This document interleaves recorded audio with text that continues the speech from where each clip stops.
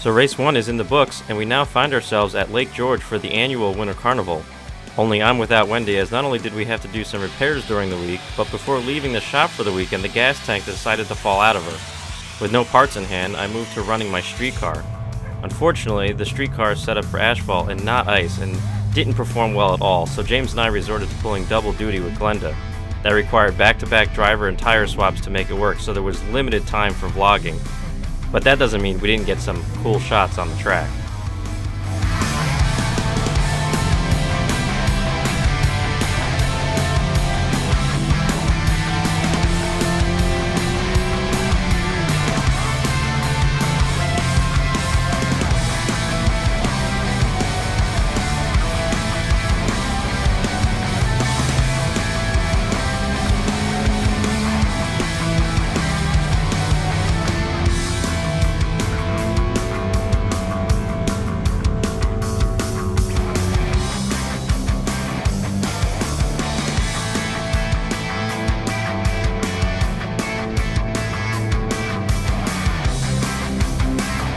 Just as the weekend started with Wendy's ill timed luck, the sentiment seemed to continue throughout the event.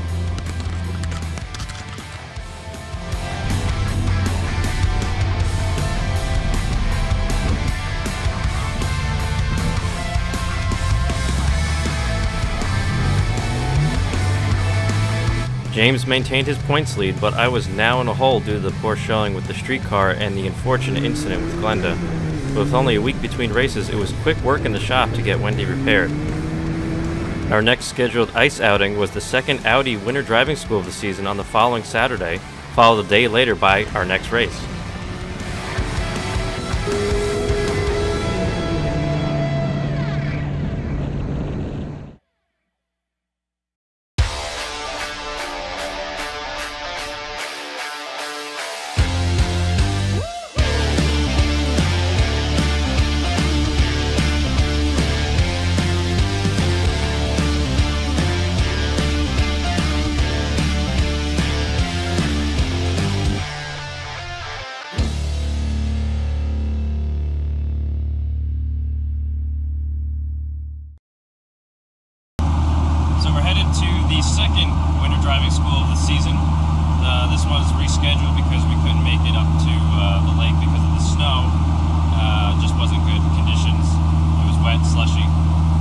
Uh, we're headed up there again.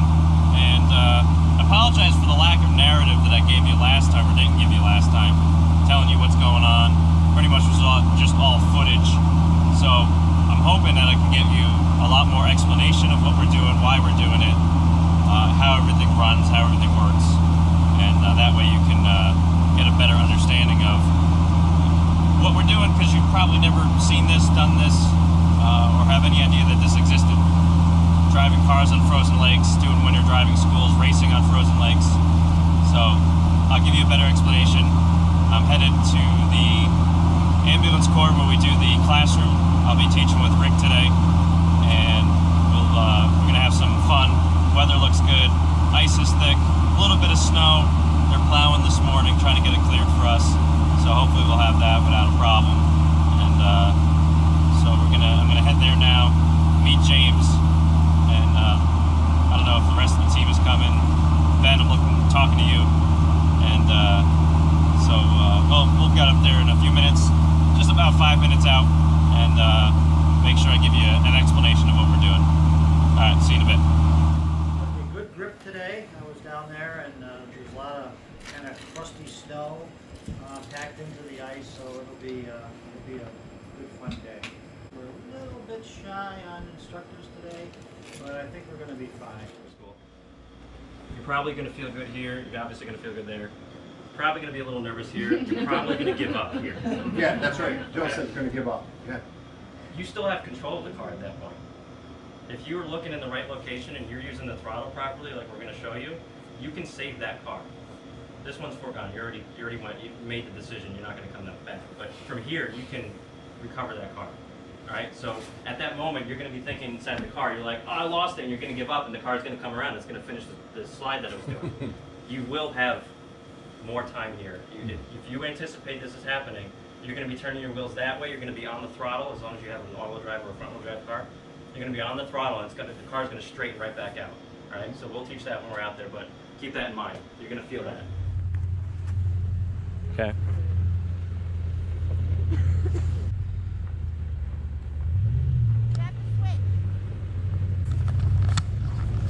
James, here we are. What are we doing? I'm rocking in the Corolla Borealis. That's right. We're on the skid pads. We're having a good time. Got the traction control off. Yes, excellent. That's what we need. She's ever. all hyped up on Mountain Dew. All right. Here we go. Yeah. Do it. Let's go have some fun. They're gonna come off in two seconds. You guys are gonna have this one, All right. and we're gonna do it. We'll make Ready. it dance. Yeah. Skid pad. Corolla style. Yeah, Corolla Let's do it. Are you guys switching? Okay. Yeah, they are. Yep. Are we doing what you want us to do? Yes.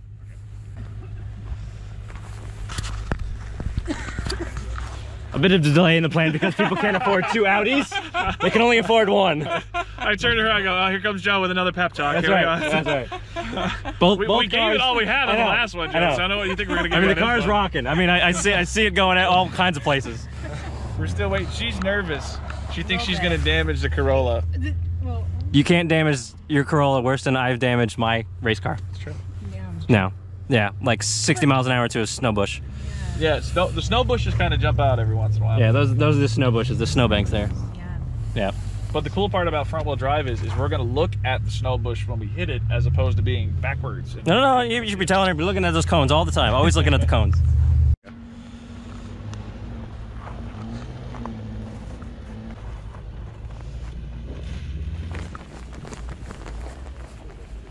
Get on that Toyota.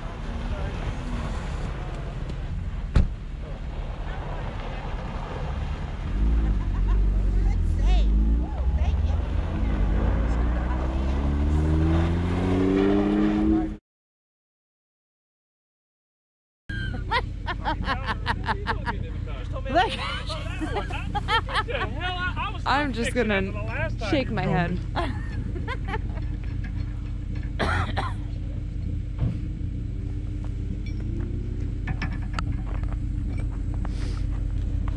Go get him, Joe.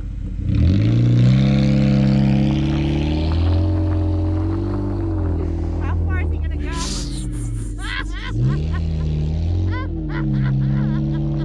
He just wants to get that trophy every time. Good job, Joe. You nailed it. Get away from the Hmm? Everybody take a steer. I don't need to. I'll move once they start moving. Don't worry. Are you the IC student? I am one Oh, of the excellent. ICs as well. Go ahead, go.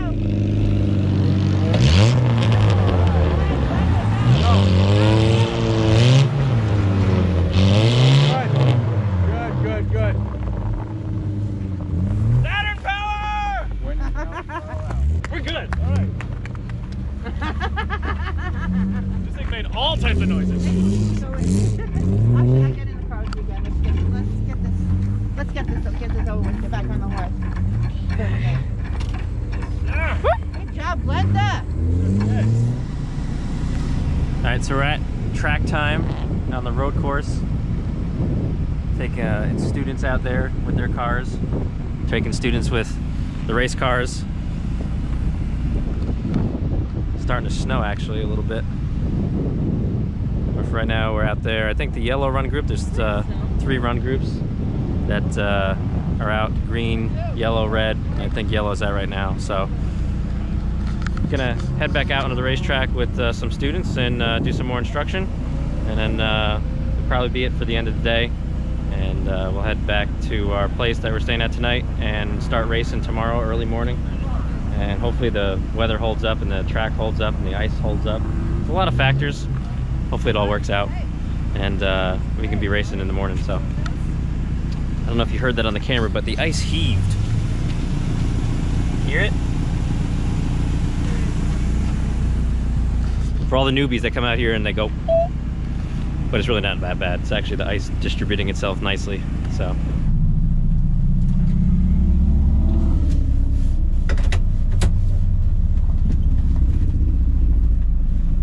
There we go. There. Are notice, are you studded or no? I have street studs on. Okay. Those are race studs. It's a different experience. Yeah. It's gotta be more fun, right? Uh, depends what you're looking for. This is more finesse. Yeah. There's a lot of slush on the inside, Okay. so we're gonna stay away from that. Yep. So you're gonna notice I don't use a lot of steering input. It's a lot of throttle Yep. and kind of whipping the car in there, bringing it back around. I haven't got more than 90 degrees on the steering wheel. Just like when you're on the skid pad, you're always looking to the next cone or like on the asphalt. So we're finishing up here at the Audi Club. Last session of the day, packing up, ready to go. Car needs to go on the trailer. So you got like nine hours worth of footage. I have to get the narration footage, right? Oh, is that it? Yep, For the, for the most recent vlog. the vlog. If I can roll a piece of crap off. Mackie. What? So we're at the Airbnb, and he has a Hudson something. I don't know yet. We're gonna find out. James was playing with the uh, 49 Hudson, something else in the garage. He's got stuff apart. The guy that owns this place, really cool. So yeah, the Airbnb is actually really nice. Uh, here's one of the rooms. This is how we make do with race weekends away, staying at the lake. It's a pretty sweet area, pretty sweet place. Um, but yeah, so uh, cars are parked for the night. We'll get up in the morning. We'll go to uh, set up tech inspection because James and I do tech inspection for the street legal class, and then uh, we'll head uh, to prepare prepare our cars. We'll already be on the ice doing tech inspection, but uh, we'll then prepare our cars and we'll get going shortly thereafter. Have the drivers meeting, and uh, we'll keep you all updated with that. So for now, we're gonna go get some uh, food and drinks and sleep because it's a long day. So we'll see you tomorrow morning. So it's about 7:45 in the morning, ready to uh, head up to the lake and uh, start preparing, setting up for tech inspection. Great place that we stayed at last night. Got a new fan, I think, and uh, we're gonna head up there now and keep these cars warm, keep ourselves warm, and uh, yeah, that's pretty much it. Let's go ice racing.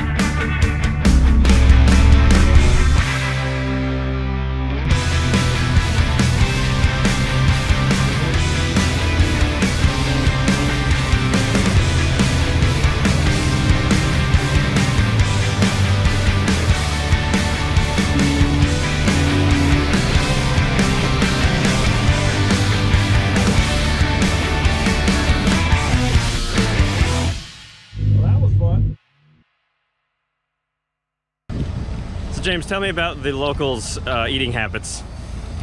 So here at the local, we uh, we cook floiled dinners. This morning I had a nice vodka penne a la exhaust manifold. Yeah, well that's good. And currently we're doing some steamed burgers uh, a la Pop's Burnt Knuckles. Mustache hamburgers. Father Mucker. Yeah, there it is. And, uh, we don't have any fire-resistant gloves though, so we're gonna try to wing that. Yeah, we don't weld on the ice. Joe's got his driving gloves though. He does, yeah. Uh, those are flame retardant. But uh, you know, we just make do what you got. It's either starve or uh, eat half-cooked food. Trust me, we're gonna eat. I don't want you guys getting hurt. See, the four wheel drive guys are out now. Okay with that. Yeah, like I didn't know where I was gonna be. Just had my race. Uh, started first, finished fourth, wasn't great. But uh, track was rough, so I had to settle in a little bit. Once we did that, it was all right. But go out again and probably after lunch, after these guys, big stud guys, come back out. But for now, we'll enjoy some hamburgers, hopefully, and some racing.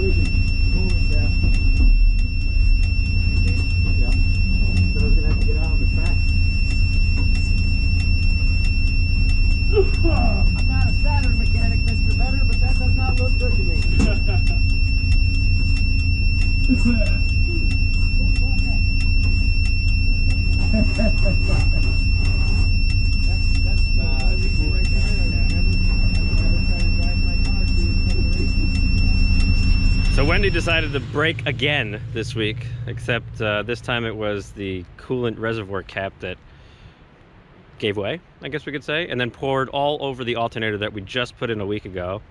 On top of the power steering pump still leaking, so uh, getting six volts to the battery trying to charge and it doesn't work. So missing the last heat of the day right now, and uh, waiting for the tow truck to show up and take it back to the shop again for the third time this season. So not exactly fun or exciting. So yeah, we'll uh, take Wendy back, get her fixed up again for another time for another race. But man, it's getting annoying. We'll try to do our best and uh, keep James in the hunt here. He's obviously still in the lead in points, as uh, he hasn't had many competitors this year. So we'll uh, we'll do our best and keep you updated on that.